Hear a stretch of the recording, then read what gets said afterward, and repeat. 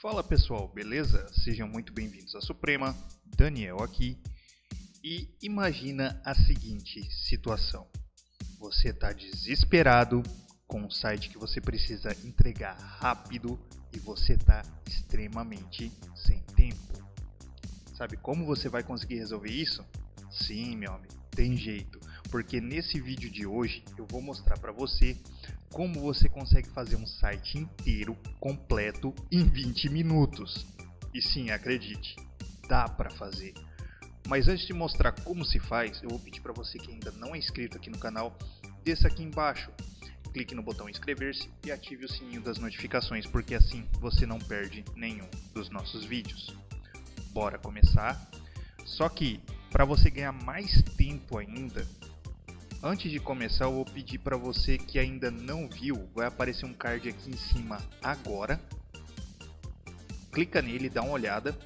Nesse vídeo eu mostro como você faz para instalar WordPress com dois cliques. Sim, também dá para fazer isso. Já tem vídeo aqui no canal mostrando como se faz, dois vídeos aliás mostrando como se faz. Só que lógico, né? Para fazer isso você vai precisar ter uma hospedagem HostGator. E como todo mundo sabe, a HostGator é a hospedagem que eu uso e eu recomendo. E o link está aqui na descrição. Caso você ainda não tenha sua hospedagem, corre lá e aproveita. Bom, partindo da premissa que você já instalou com dois cliques, o que, que você vai fazer agora? Eu estou aqui no painel do WordPress. Eu vou aqui em Aparência, Temas, Como vocês podem ver, só tem o 2021. Por quê? Porque eu excluí todos os outros. Eu costumo deixar o 2021 e o ano que vem o 2022, claro, Daniel, seu gênio, porque assim, é, vira e mexe eu preciso fazer alguma coisa, é, questão de engenharia reversa, sabe como é, né? Questão de código. Mais pra frente vocês vão entender do que, que eu tô falando. Mas por enquanto, você vai aqui em adicionar novo, clica, E aqui a gente vai fazer o seguinte, eu vou aqui na pesquisa de temas e eu vou digitar Bloxy. Você pode usar qualquer um, mas eu vou usar o Bloxy, que é um tema que eu estou gostando muito dele. Estou achando muito legal. Você vem aqui em instalar, guarda ele instalar. Inclusive, eu menciono ele no vídeo que eu fiz do top 5 de os melhores temas para 2021. Óbvio, se você não assistiu, vai aparecer um card aqui em cima agora clica nele, dá uma olhada, você vai ver que vai valer muito a pena. Lá eu menciono o Bloxy. Ó, instalou, eu vou clicar aqui em ativar.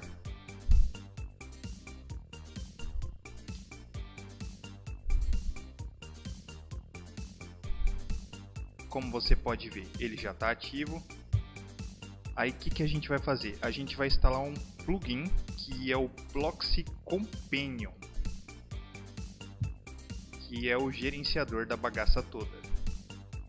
Ele está instalando aqui, ele vai instalar, vai ativar o Bloxy Companion. Tem alguns temas que tem esses motores assim que eles pedem para instalar. Ó, como você pode ver aqui no menu aparência, já apareceu a opção do Bloxy aqui. Não apareceu aqui em cima porque a gente vai ter que dar permissão. Então você vem aqui, aparência Bloxy. E aí você vai dar allow and continue. E você vai conceder a permissão para ele fazer essas modificações aqui que ele está pedindo. Viu? Apareceu o menu do Bloxy aqui em cima. O que, que a gente vai fazer? Se você assistiu o vídeo dos templates, você vai ter ouvido muito eu falar a palavra starter. E é isso que a gente vai fazer aqui. A gente vai baixar um starter. O que é um starter? É um site pronto, basicamente. Isso. Você só vai ter que trocar logo, trocar os textos, trocar alguma cor que você queira. Só isso. Você vem aqui em Starter Sites e ele vai carregar os starters disponíveis do Bloxy. Eu vou nesse primeiro aqui porque eu sei que ele é com Elementor. Cada um desses starters é feito com um ou mais construtores de tema. Por exemplo, esse primeiro aqui, ele é só Elementor, ele foi construído só com Elementor. Esse daqui, Você já pode usar Gutenberg, já pode usar Breezy, já pode usar o próprio Elementor. Eu vou nesse primeiro aqui. Você clica em Import. Aqui ele pergunta se você quer construir o tema filho. Óbvio que eu quero. Se você não sabe como construir o tema filho, tanto manualmente como através de plugin, que você constrói com dois cliques também, vai aparecer um card aqui em cima agora.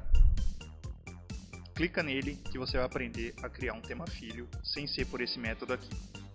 Aqui ele te pergunta se você quer instalar o Elementor e o WP Forms. O WP Forms eu não curto muito ele, mas eu vou deixar instalar. Vou dar Next aqui Options, Widgets e o conteúdo, que é o mais importante no Starter. Vamos dar Install aqui e ele vai baixar o pacotão todo. Tá criando o tema filho, já criou, tá baixando os plugins aqui todos. Eu estava falando sobre o WP Forms, eu particularmente prefiro o Contact Forms 7, que inclusive se você não sabe como instalar, mais uma vez vai aparecer um card aqui em cima agora dá uma olhada, aprende como usar o Contact Form Server. Apesar dele não ter bem assim uma interface gráfica, ele não é drag and drop, que nem o WP Forms, ele é funciona não é bem código, né? ele funciona com tagzinhas. Você vai montando e vai montando teu formulário. É, mas eu acho ele muito mais organizado e ele te dá muito mais possibilidades. Inclusive tem um plugin, uma extensão dele, sendo mais prático, que permite que ele fique um formulário multistep. Eu acho isso muito legal. E você instalando o Flamingo, que é o que eu mostro nesse vídeo, você consegue catalogar e gerenciar todos os contatos que, é, que você captou através do formulário. Cara, sensacional, cara. Você pode exportar, você pode baixar. É muito bom. Ó, agora ele está importando o conteúdo. Ele já instalou plugin, já instalou widgets, essas coisas. Ó, bicho vem que vem quicando. Agora ele vai baixar as imagens, são 45 imagens no total. É um, que nem eu disse, é um site completo, cara. É um site completo. Você só vai ter realmente só trocar logo, trocar alguns textos, trocar algumas imagens, mudar alguma cor que você queira mas, tipo, cara, isso daqui salva muito a pátria. Claro, eu recomendo fortemente que se você tiver com tempo, você pode até baixar o Bloxy para você usar, pra você herdar o CSS dele, para você usar os widgets. Mas, cara, pega o Elementor e constrói um tema para o teu cliente, cara. Tipo, agrega valor ao teu trabalho, entendeu?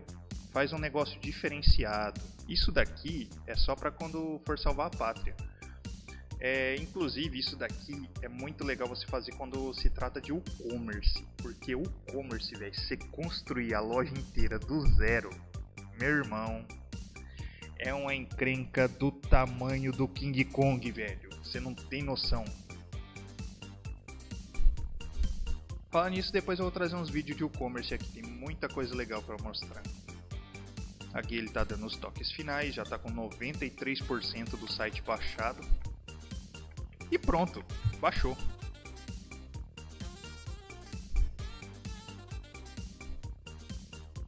Tá carregando aqui, eu cliquei em View Website. Tá aqui, pronto. Tá aqui o site. Pronto, você fez um site em menos de 20 minutos. Eu, eu prometi 20 minutos, não deu nem 20 minutos, ó. Tá tudo pronto aqui. A única coisa que você vai ter que fazer é algumas modificações. Agora, Daniel, que modificações que dá para fazer? Primeiramente, vou dar aqui algumas ideias rápidas. Vamos trocar essa logo aqui, ó. Você vai aqui em personalizar. Ele vai abrir o menu de personalização específico do Bloxy. Você vai, você vai entender um pouco também por que, que esse tema se chama Bloxy. Que eu vou até dar o spoiler já ele é como se ele tivesse um construtor de temas nativo, fora se você estiver usando Elementor, Gutenberg, ele tem tipo os bloquinhos dele mesmo, entendeu? Você já vai entender isso rapidão. Espera só ele carregar aqui. Olha, ele carregou com a estrutura dele. Beleza, até aqui, tranquilo. O que, que a gente vai fazer agora, Daniel, seu louco? A gente vai aqui em cabeçalho vai em logo. Ó aqui os bloquinhos, ó. tudo bloquinho, parece o Elementor mesmo. Quer dizer, aqui ele lembra um pouco aquele Visual Composer, que é um outro concorrente do Elementor que eu não, eu particularmente não curto muito. Tem gente que ama de paixão, mas não, não, não. Bom, agora a gente vem aqui em logo. Você clica aqui em modificar nesse lapisinho. Aí eu vou vir aqui em enviar arquivos. Eu já deixei separado aqui na minha pasta de download. Ah, isso daqui aparece só no meu navegador, que ele tem essa opção aqui dos arquivos recentes. Ah, para quem não conhece esse navegador que eu estou usando, é o Opera Game Experience. Se você quiser conhecer um pouco melhor, deixa aqui nos comentários. Se muita gente tiver interesse, eu faço um vídeo só sobre ele. Essa logo aqui que eu separei da Suprema, ela já atende os três propósitos aqui. Que é a principal... Opa, er, meu Deus, eu já havia subido ela. É só pegar da biblioteca, ela já atende os três propósitos já. Ela já tem fundo transparente, tal. Aqui é de estado físico, eu vou usar a mesma também. Prontinho, já está com a logo da Suprema aqui. Aí você vem publicar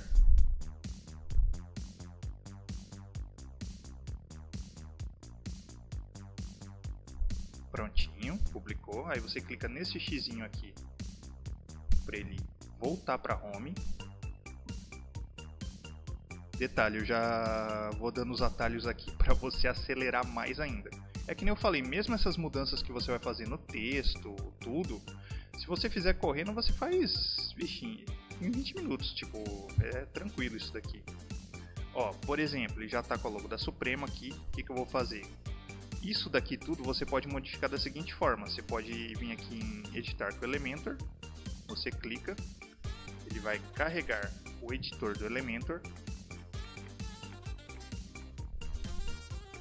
Detalhe, esse tema aqui ele foi feito inteiro com Elementor Free, ou seja, dá para fazer muita coisa com Elementor Free. Ah, mas se você tiver interesse em comprar o Elementor Pro, se tiver dentro do teu orçamento, eu estou deixando o link tanto na descrição quanto no primeiro comentário fixado. Dá uma olhada lá, se você vê que vale a pena. Cara, abraça porque o bicho vale a pena pra caramba. Na minha opinião, vale. Lógico, você não vai usar em todos os projetos, mas a menos que você tenha uma agência. Aí sim, você aí compensa muito você comprar o Elementor Pro e usar aí, ó, já abriu aqui, como você pode ver, tudo isso aqui é editável, texto, botão, tudo. Eu vou clicar aqui nessa seção, editar seção, eu vou trocar essa foto aqui do header, você vem aqui em estilo, ó, vou escolher imagem, vou subir uma imagem que eu já deixei lá na minha pasta de downloads,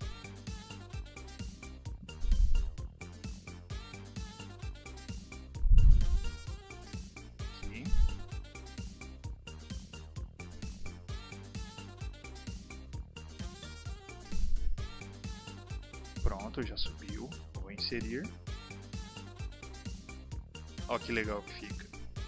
Vou dar atualizar. Ficou top, né? Bom, mais uma coisa que dá para fazer aqui. Como eu disse, isso tudo aqui você consegue editar com Elementor.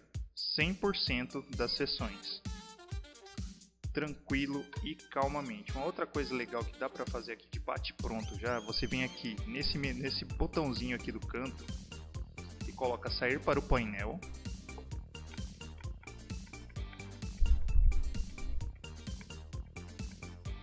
Aí ele vai voltar na edição da página, no caso a gente está na home. Ele caiu com o Gutenberg. Aqui você consegue alternar. Se você clicar aqui, você edita com Elementor. Se você clicar aqui, você edita com Gutenberg. Você vai clicar aqui na logo da, do WordPress, né? No caso, aí você vai voltar para as páginas dentro do painel do WordPress. Beleza, o que, que a gente vai fazer aqui? Onde está Contact, você vem aqui em Edição Rápida. Você vai mudar para Contato. Detalhe, ele já tem um formulário de contato lá pronto. Atualizar. Home eu vou deixar como home. News eu vou mudar para notícias. Vou só traduzir. Atualizar. Bora ver como ficou. Deixa eu abrir outra aba aqui.